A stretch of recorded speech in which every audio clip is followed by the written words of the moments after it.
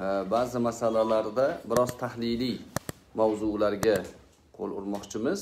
Odatda bu ilmiy doiralarga ahamiyati bor suhbat inshaalloh. Lekin odatda bizni musulmon xalqimizni orasidagi ixtiloflarni e, boshlanish nuqtasiga e'tibor qaratsangiz boshlanish nuqtasida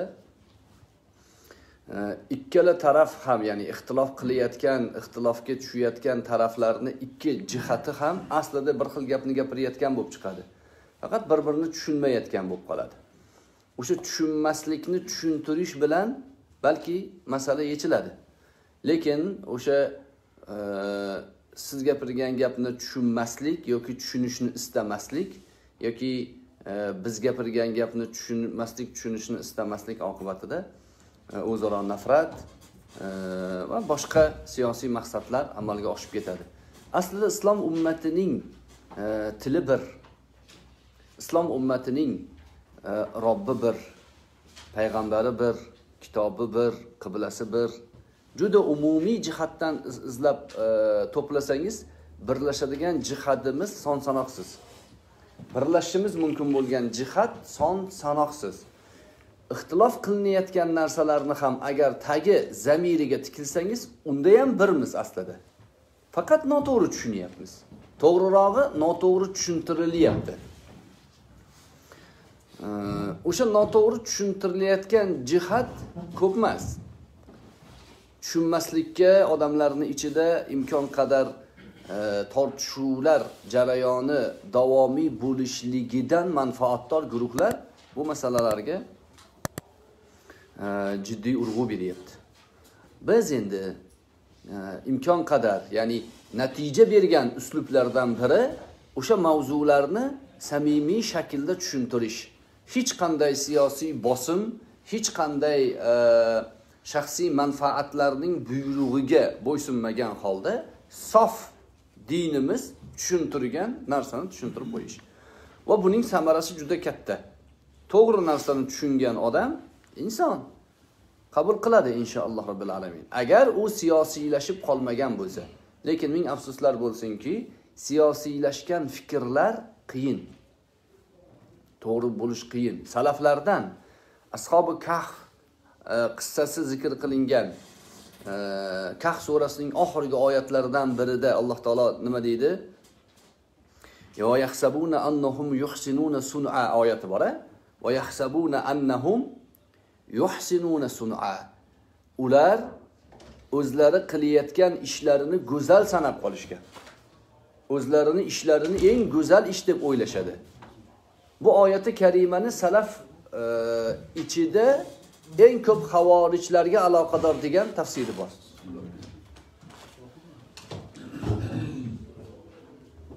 Havorijlarni e, islom ummatining aksari musulmon degan. Hazrati ali o'zlari ham musulmon deganlar. Oyati karima bu qur'onni oyatidagi xitob kofirlarga annahum yuhsinuna sun'a ular qilayotgan ishlarini go'zal sanab qolgan odamlar. Asli go'zal emas. Kufr ollohni inkor qilish ollohni do'stlariga dushmanlik ollohni do'stlarini qatl qilish bir qancha jinoyatlarni ular go'zal sanab qolgan. Salaf bu oyati karimani tafsirini havorijlarga aloqador deyapti. Havorijlarni sifatiga aloqador. Hargiz va hargiz kofirlar haqida nozil bo'lgan oyatni musulmonga tatbiq emas bu. Balki tabiat inson tabiatidagi inkor juhud qaysarlik kufrdan kelib chiqadi. Kufrning sifatlaridan biri. Iymonli odam samimiy bo'ladi. To'g'ri gapni tushuntirsangiz qabul qiladi. Haqiqatni ko'rsatsangiz ergashadi. Samimiy odamda u darajada inkor u darajada samimiy insonda qaysarlik bo'lmaydi. Borini aytsangiz tushunadi. Endi bugun bizni e, hozirgi davrimizda masalalarni yuzga borib bormagan bormang yuz ellik ikki yuzga borib bormagan masalalarni kavlashtirishyapti. Bu masalalarni kavlab chiqargan odamlarni izlab qidirib topsangiz asli tagi musulmonlar bo'lib chiqmaydi. Musulmonlar gapirishligi musulmonlar tomonidan tatbiq qilinishligi siz bilan bizni aldamasin. Ular e, qola rasululloh qola e, qolalloh deyishligi bizni sizni aldamasin. Qola rasululloh qolalloh bizni ham haqqimiz. Bizni ham kitoblarimizda o'sha masalalarni asl mohiyati aytilgan. Biz ham uni to'g'risini o'qib o'rganib e, tarqatishimiz kerak. Xalqni oddiy xalqni boshini aylantirish uchun yuz yuz ellikka yaqin masalani ishlab chiqishgan va buni tarqatilgan va hech qachon to'xtamaslik uchun orqasidan ularga kuch berib turiladi. Bittasi maydondan tushsa ikkinchisini chiqariladi. Ya'ni o'ziga mubosharatan aytib san chiq gapir deyilmaydi. Odamlarni o'rganiladi. Masalan misr. Misrda masalan o'zbeklarga qaratilgan strategik e, ishlardan bittasini aytib beray sizlarga. Misrga qaraladi. Misrda kelgan odamni ro'yxati ma'lum ketayotgan odamni ro'yxati ma'lum. U shahar bedarvoza emas hammasi nazoratda ko'rib kuzatib turibdi. Qarayapti bir jamoat ilm o'qiyapti qur'on o'qiyapti hadis fiqh o'qiyapti. Bulardan foyda yo'q. Islomga zarar berishlikka nimaga? Bular o'zini ishini qilyapti. Nima qilish kerak? Shularni ichida e, so'zi o'tkirroq harakati strategiyasi boshqarsa bo'ladiganroq abdulloh zufarni ko'rib turishibdi. Ko'rib turishibdida bunga uzoqroqdan turib namyok berishyapti. Yo'lini ochishyapti qamab qo'ysa chiqartirib yuborishyapti va qilayotgan ishiga o'zini yaqinlari orqali o'ziga yaqin odamlar orqali san qahramonsan san kuchlisan sanga hech kimni kuchi yetmaydi. Haqiqat san tomonda deyapti. Masalan e, eskiroq paytdagi qorakalarni disklari kasetalari bunga berilyapti. Qaysi usul bilan? Uni bilishadi usulini yosh bolaki bu. Buni xohlagandek nazorat qilish mumkin. Manda manda shunaqa imkoniyat bo'lsa man nazorat qila olaman. Ya'ni butun boshli siyosat bunimi o'ynatib tashlaydi. U qarayapti ishi zo'r bo'lyapti atrofida. Sun'iy ravishda yosh bolalar yig'ilyapti aytgan gapi. Youtube'da tarqatilyapti hamma tomonda unga qarsak chalinyapti. U havolanib hatto shu darajaga keldiki ya ahlal kitob taalav ila kalimatin sawa oyatini o'qib orqasidan ey qur'on yodlaganlar kellaring meni atrofimga jamlan deyapti. Shu darajaga olib borib ishirib qo'yish mumkin. Mumkin. Qamasi chiqarib yuborib boshqa joydan joy qilib berishlari mumkin. O'zlari chegaradan o'tkazib o'sha joyda unga imkoniyat qilib berishlari mumkin.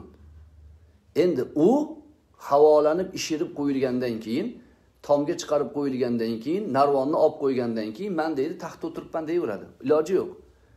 Qur'oni karim bu sifatni inson sifatlaridan ekanligini sobit qildi. Demak bizni vazifamiz nima? Bizni vazifamiz o'sha samimiy islom ummatini bunaqangi tayyorlangan buyurtma asosida ketayotgan lekin o'zini buyurtmaning natijasi ekanligini bilmayotganlarning qo'lida qurbon bo'lishdan asrashimiz kerak. Buni yo'li dastlab ko'rinishida samarador bo'lmasligi mumkin. Natijaga mas'ul emasmiz to'ppa to'g'ri. Biz nimaga mas'ulmiz? Vazifaga mas'ulmiz. Olloh va rasuli buyurgan vazifaga mas'ulmiz. Salaf ummat qilgan ishga mas'ulmiz. Islom ummatining ichida ahli sunna val jamoa naqadar zaiflashligiga qaramasdan har doim g'alaba bilan maydonga chiqqan. Nimaga? Ana shu vafodor fidokor mard jasur ahli salafning harakati bilan. Imom ahmadni nima qilib tashlashdi? Turib berdilar. Imom abu hanifani nima qilishdi? Oxiri zaharlab o'ldirishdi bir rivoyatga ko'ra. Yo'lda turib berdi. Imom molik yo'lda turib berdi. Imom shofiylar turib berishdi. Zamon davr o'tar ekan ahli sunnaning maydoni bo'sh qolgani yo'q. Qachon bo'sh qolsa buyurtmachilar chiqishni boshladi. Bo'sh qoldi buyurtmachi chiqadi.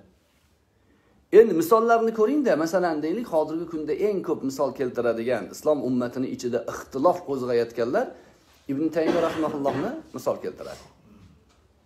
Ibn taymiya deydi anaqa bo'lgan hukumatdan ko'p tazyiq ko'rgan. Mana biz ham hukumatdan tazyiq ko'rganmiz. Bizni yo'limiz ham shu yo'lga o'xshaydi. E san qayerda turibsan? Shvetsiyadaman e? ibn taymiya shuncha tazyiqni ko'rib vizantiyaga qochib ketmagan? Yurtida tazyiqni ko'rib qamoqdan zindondan chiqib yana yurtida xizmat qilgan. Borib vizantiyadan boshpana so'ramagan. Man mana hijobni gapiryapman. Turkiyaga chiqib olib uchinchi davlatdan boshpana so'rayapti. Ibn taymiya bunaqa qilmagan ibn taymiya dushmanning ya'ni e, qahri bo'lgan hukmi g'olib bo'lib turgan joyga borib yalinmagan. Yalinmagan. Ali roziyallohu anhu bilan muoviya roziyallohu anhu o'rtalaridagi muammoda muoviya roziyallohu anhuga rimning katta e, qo'mondoni xat yozgan. Ali bilan o'rtangizdagi muammoni bilib turibmiz. Xohlasangiz yordamchi kuch bilan boramiz degan. Ikkita musulmon e, kelishmay turibdi ijtihodiy masalada orqadan turib yozyapti. Siz bilan deyapti. Muoviya nima deganlar? Ey it ko'ppak deganlar. Sanga bizni ehtiyojimiz yo'q biz musulmon o'rtasida ishimizni hal qilib olamiz deganlar. Masala o'sha orqadagi buyurtmachilarning ishiga o'tib ketsa qiyin. Ichimizdagilarni biz tushuntira olamiz ey do'stim birodarim seni janozang meni janozam seni e, ziyorating seni kasalliging meni ziyoratim bilan san meni dardimsan san meni bir jasadimsan sanga muammo esa man uni e, og'rig'ini tortaman bu voqealik bu. Voqealik shu yerda bosh imom o'tiribsizlar barchanglar o'zinglarni qavminglardagi muammoga uchragan odamni hamdardisizlar ishinglarni tashlab qo'yib uni dardini eshitib yechimiga harakat qilasizlar. Xalqdan ajrab olmagansizlar xalq ichida yuribsizlar. Endi sizlarni yomonotlik qilishdan ko'zlagan maqsad o'sha buyurtmachilarni mazhabi buyurtmachilarni ishi. Masalalarni tahliliy e, hal qilish masalasi qiyinroq va e, zohirdan qarasangiz natijasi yo'qqa o'xshaydi. Lekin samimiy harakat qilinsa to'g'ri. düşündürülsə Allah Taala özə nəticəni verər.